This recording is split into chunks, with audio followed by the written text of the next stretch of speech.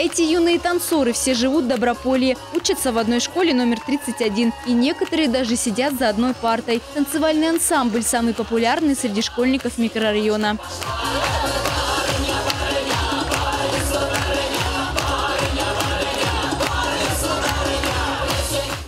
Что нужно уметь, чтобы побеждать на конкурсах? С легкостью поделится каждый участник фестиваля «Страна чудес». Три дня в Центре детского творчества проходит отбор лучших танцевальных коллективов в номинации «Хореография». На сцене, сменяя друг друга, выступают дети разных возрастных категорий от 5 до 17 лет.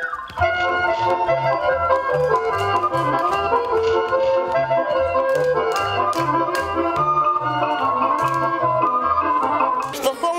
танцору всегда что-то мешает. Но главное улыбаться, ну, на движение как бы плевать. Ну, главное улыбка в танце. Улыбаться получается не у всех. Самые младшие танцоры забывают движение и сосредоточенно следят за подсказками хореографа. Я хочу выступать, чтобы мы ездили везде, чтобы смотрели родители. Надо все равно какой-то учитель, чтобы он тебе помогал, показывал какие-то движения, которые тебе что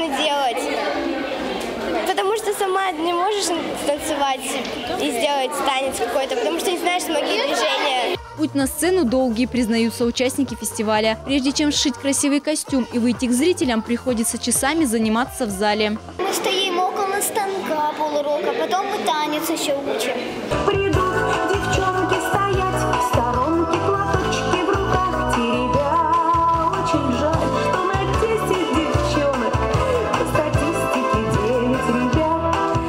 За один день конкурса жюри отсмотрело около 40 танцев. Лучшие коллективы выступят на гала-концерте фестиваля «Страна чудес», который пройдет в начале мая. Надежда Якушенко, Анна Маринец, Сергей Довиченко, Телемикс.